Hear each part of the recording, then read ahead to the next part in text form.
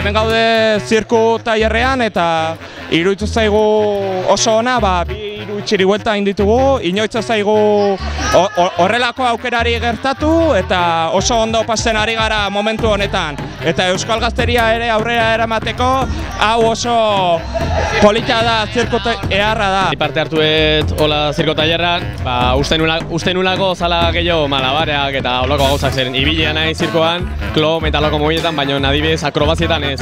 Eta bueno, ba, izan da aukera bat, ba, zerbait berria probatzeko, ez? Baina emozionante izan da hori buruz bera jartzea eta bera tatzera egotea. Tigarria bai, ondo pasa.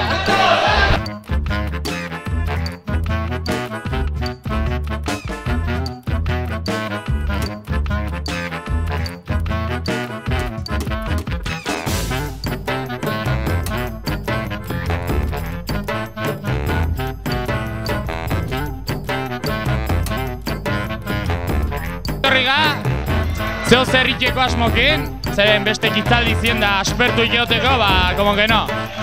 Da etorri ga, da aurkitu dugu hostia hau, da gustora, oso.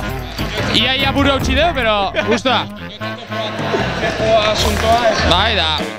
probatzeko, ba, Printzipioz payaso nahi etorri ga, pero aukera ez diut eman, pues hau indeu. Ba, hemen eh, erakutsi altzigutela e, zirkua mu, e, mugimenduan e, dakiten jendea nola funtzionatzen duen, eta ba, gu praktikan jartzea, eta orduan ba, interesgarria iruditu zaigu. Bai, ez, zirkoa ez dugu hain hurbil inoiz ikusten eta orain eman digut aukera hori gure guk ere be- beraiekin parte hartzea. Ba, guk uste inun zirkue ez dela hau, ba, uste genuen, ba, lehoia, elefanta eta opaiazun zerbait izango zela, baina pixkoa decepzionatu egin gaitu, ez da git. Ez da git. Hori da, hemen eiza, pixkoa, elefantea berako du.